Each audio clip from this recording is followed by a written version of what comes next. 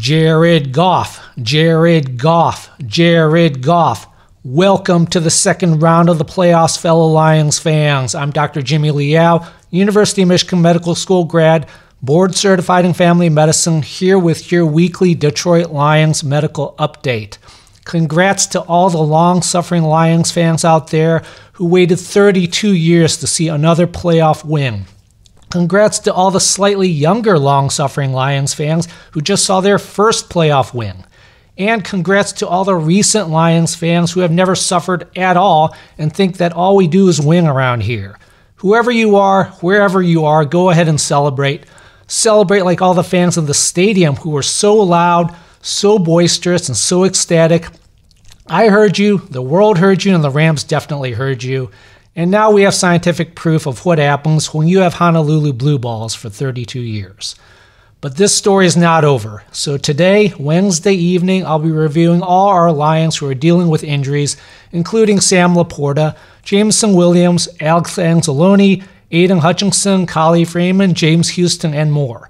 And I'll review the Wednesday official injury report for both the Lions and Bucs as we look forward to our next playoff game. I'll do all that next.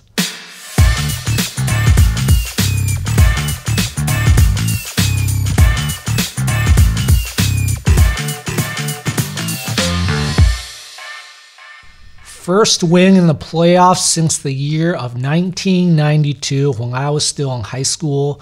We dominated the Cowboys that game. And I remember after the game, there was all this talk about how the Cowboys needed to do all these things in the offseason to catch up to the Lions, like get more cornerbacks, get better defense. There was a lot of hope for the future back then. I remember in the offseason that year, I'd go to the magazine stand. Yeah, a lot of you guys remember what that is. And I would read all those NFL preview magazines like Athlons, Sporting News, Lindy's, and a couple more I don't remember the names of. The thought was that the Lions and Cowboys would be competing for years in the NFC. Sadly, we knew how that turned out, with the Cowboys winning three more Super Bowls and the Lions never winning another playoff game until just a few days ago. You never know what the future is going to bring, so hopefully the Lions take advantage of the opportunity this year. We're a very healthy team right now, and maybe that'll give us the edge as we continue along in these playoffs. So let's get to the Rams post-game report. Pretty clean game overall. No major injuries. We did see Alex Anzalone go down briefly in the first quarter at the eight minute mark, then again for a longer period in the fourth quarter, about the eight minute mark. Trainers had to come out to him in the fourth quarter and he left the game briefly, but then he returned and finished the game. He played all game with this right shoulder brace, which is the suspicion for this injury. Now, look back at the rest of this year. He's had this same brace all year long, including game one versus the Chiefs. So then I look back at 2022, and he was wearing that right shoulder brace all 2022 as well, including in game one versus the Eagles. So this appears to be a chronic shoulder injury for him, but it looks like he should be fine with no issues for the next game. Aidan Hutchinson had a respiratory infection during the game. You could hear that during his post game press conference. He played 76% of snaps, which is a little bit lower than his typical 90 plus percent. There are high levels of influenza across the country right now, including in Michigan.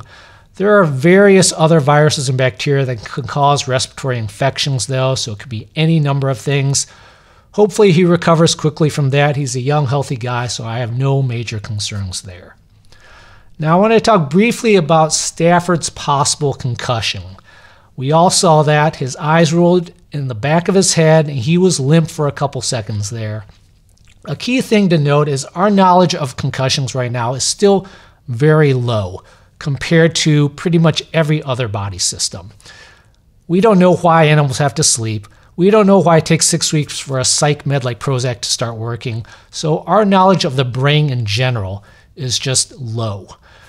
Just 20 years ago, the protocol for concussions was if you were asymptomatic for 15 minutes, you were okay to keep playing, even if you got knocked cold. Things have rapidly changed recently over the past couple decades, but there's still a lot of guesswork and a lot of flux going on with concussion management. So, did Stafford have a concussion? I'd say pretty good chance that he did, but you can't say that for sure. The neurologist might have a 95% confidence of saying he had a concussion. Another neurologist might only say 80%.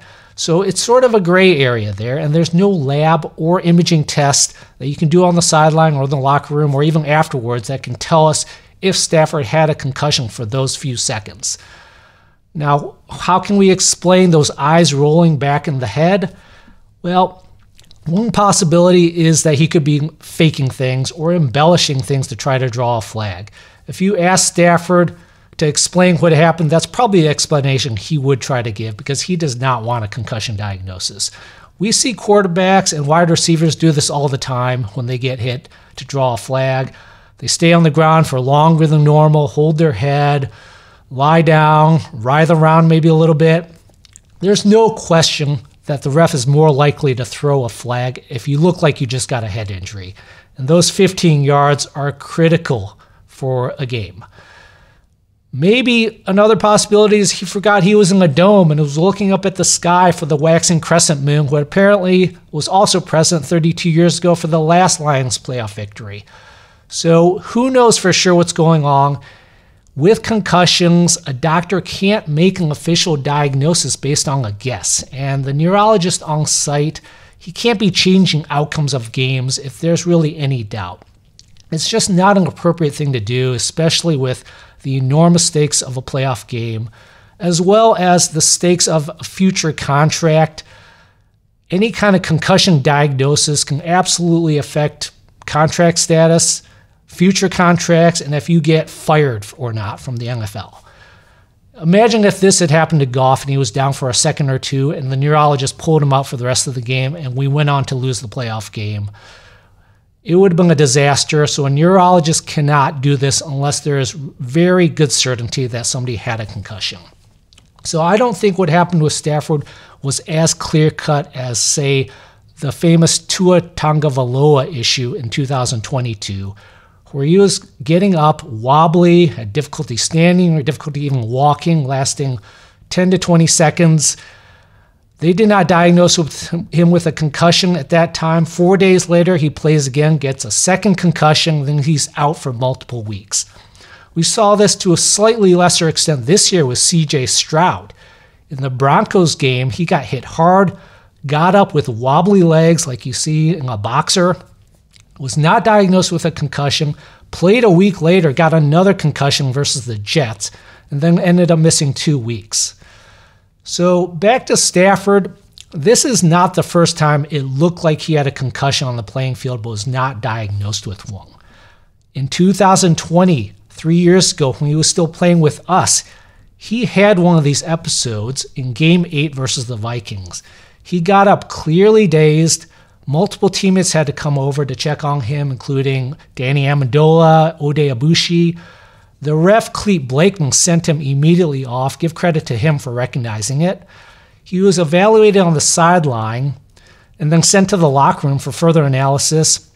Did not return to the game, which typically signifies a concussion diagnosis, but then the next day comes along and no diagnosis of a concussion, even though he clearly had significant concussion signs on video. So, not the first time that Stafford has had a likely concussion on video, but never officially diagnosed with one. He's able to pass that sideline screening test.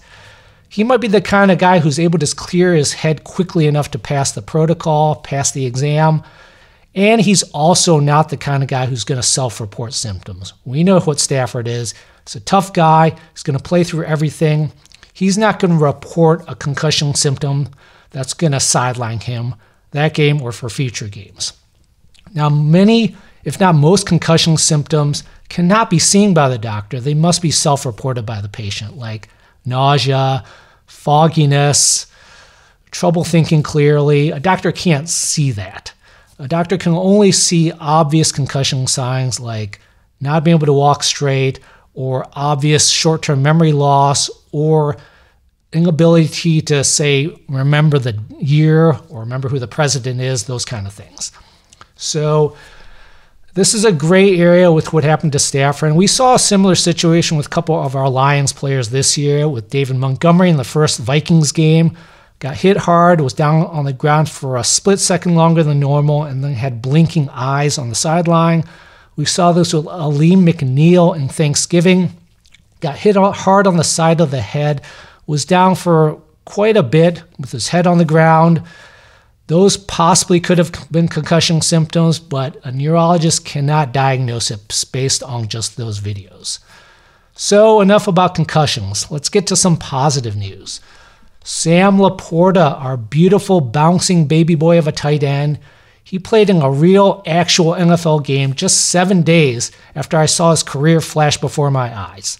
Finished with three receptions, 14 yards, and one touchdown. Here's the summary of his injury. Hyperextended his left knee on video. MRI public report just mentioned a hyperextension and bone bruise. There was likely possible sprains to multiple knee ligaments, though, including the PLC, which is the posterolateral corner, the MCL, which is the medial collateral ligament, and the PCL, which is the posterior cruciate ligament. If there was a sprain to any of these, it was very mild, though. He was able to play through it. Now, the bone bruise also likely means some trauma to the articular cartilage, which is the cartilage covering the surface of the bone. This kind of injury can impact burst and jumping ability. Travis Kelce had a bone bruise two days before the season started. Ended up looking significantly less athletic this year than in previous years. His stats were still great, but he didn't have that quickness and elusiveness which was his hallmark throughout his career.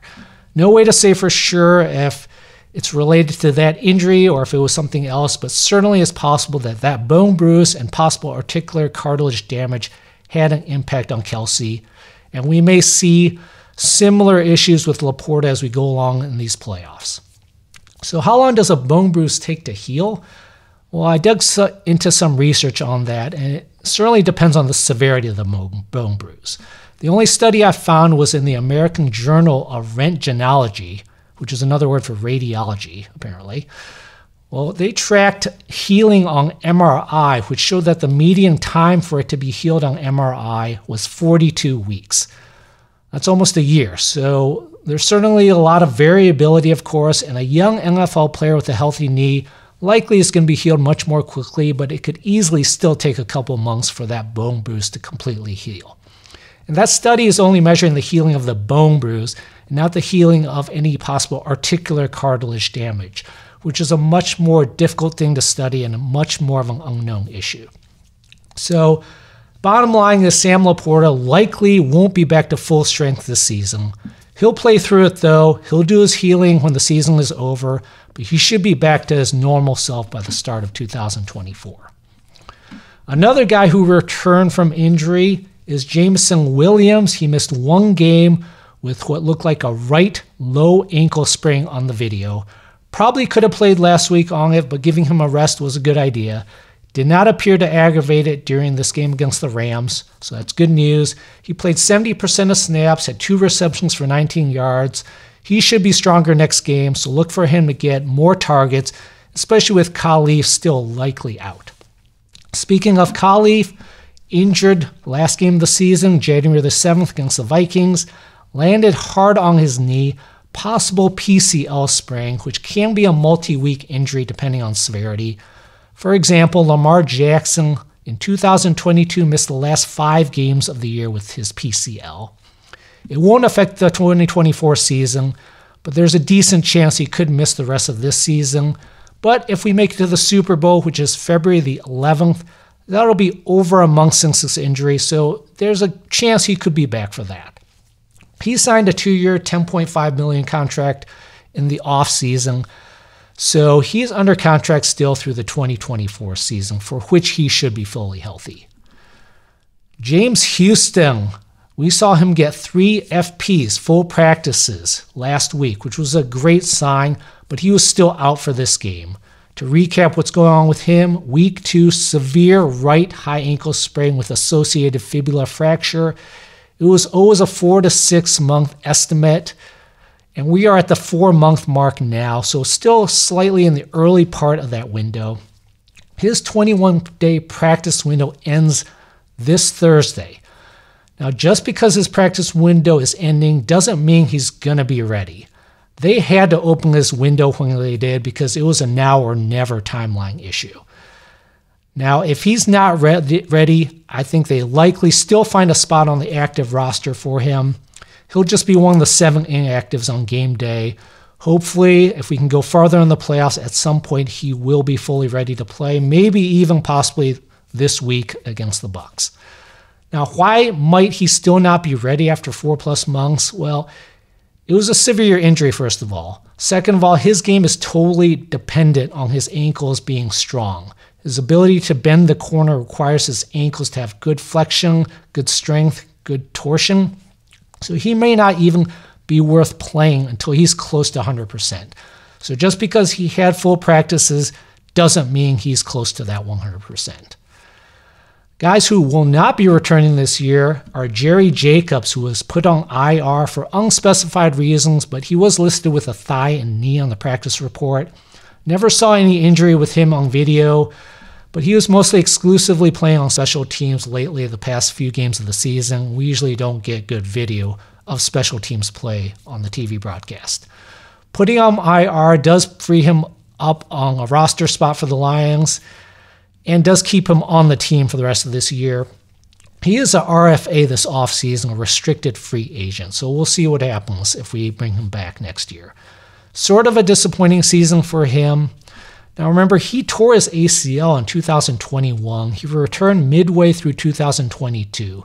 Probably fully recovered from that ACL, but it's always possible there are residual effects from an injury like that, especially if there's any cartilage damage. The ACL heals great. You're just connecting point A to point B. Cartilage damage does not heal great, if at all, so that's something that can cause residual effects. His season arc reminds me a lot of Jeff Okudah, who had an Achilles tear in 2021 but was able to return for the start of 2022. Jeff Okudah started the season very strong, was a solid starter, playing great. We thought he might live up to his third overall draft pick, but then he started getting benched later in the year, possibly due to injuries, possibly due to coach's decision, hard to say. Never really saw any significant injury on the field, though, but it's possible that Achilles tear did cause issues as the season wore on. Maybe that's what happened to Jerry Jacobs. Now, another guy who got placed on IR was James Mitchell. There was a pic online of him last week showing a left hand wrap post surgery. Placed on IR, so presumably out for the year. Unfortunate because he was looking pretty good out there with Brock Wright being out the past three weeks, the last three weeks of the season. Somehow James Mitchell heard it during the week. Maybe he heard it during practice. Maybe he heard his hand after practice punching a Stafford voodoo doll. Maybe he heard his hand pushing that enormous wheelbarrow around that carries Dan Campbell's testicles. Who knows? Regardless, a hand injury is tough to play through at the tight end position, which requires him to occasionally be able to catch a ball. Unlike, say, Alex Anzalone, who only missed one game with his thumb surgery. James Mitchell is in the third year of his four year rookie contract, so he is signed through the 2024 season. Now, let's go over the Wednesday injury report. In general, both the Lions and the Bucs are pretty healthy right now. That might be a big reason why both teams are still alive in the playoffs at this point. As usual, the abbreviations I'm going to use are FP full practice, LP limited practice, and NP no practice. Start with the Lions. Frank Ragnow, typical rest day, NP, no concerns there. Kalif Raymond, unfortunately, an NP with his knee. Dan Campbell said today in his presser he was getting better and that there was a chance this week. However, he's only 10 days out from his injury. If this is a PCL sprain, then that's pretty unlikely he'll be back this weekend, especially with the NP. If it's not a PCL and it's just a contusion, then it's much more likely he will be able to play.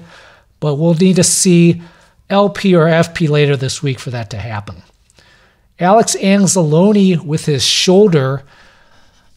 He's had the shoulder issue for a long time now. He's been wearing that brace for at least a couple years. He had a shoulder injury since his days at University of Florida in college. He missed 12 games with his shoulder in his rookie year, 2017 missed 14 games in 2019 with his shoulder and ended up having surgery for it at that time. In 2021, with us, he missed the last three games with that shoulder. So this is clearly a chronic issue for him. He's been playing through it for years. So hopefully it's not too flared up.